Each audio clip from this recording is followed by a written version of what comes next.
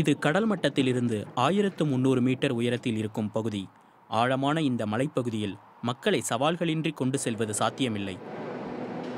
திட்டமிடப்பட்ட காலத்தை விட இரண்டு ஆண்டுகள் தாமதமானாலும் ஐம்பத்து மூன்று மில்லியன் டாலர்கள் செலவில் இதை வடிவமைக்க பதினான்கு ஆண்டுகள் ஆனது.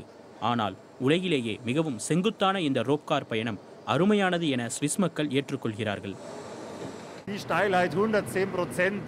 நூத்தி பத்து சதவீத சாய்வு நிலை சுரங்கம் இதுவரை மிக அரிதாகவே அமைக்கப்பட்டுள்ளது.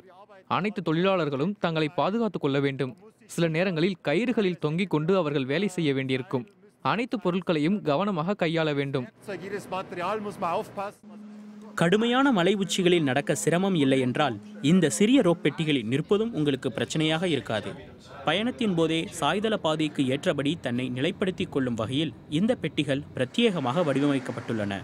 நொடிக்கு பத்து மீட்டர் வேகத்தில் இயங்கும் ரோப்கார் பெட்டிகளில் ஒரே நேரத்தில் தலா முப்பத்து நான்கு பேர் வரை பயணிக்கலாம்.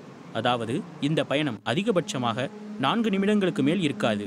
ஆயிரத்து தொள்ளாயிரத்து முப்பத்து மூன்று முதல் பள்ளத்தாக்கு நகரமான ஸ்விட்ஸிற்கும் மலை கிராமமான ஸ்டூசுக்கும் இடையே இயங்கிக் கொண்டிருந்த பழைய ரோப்கார்களுக்கு மாற்றாக இந்த பாதை அமைக்கப்பட்டுள்ளது.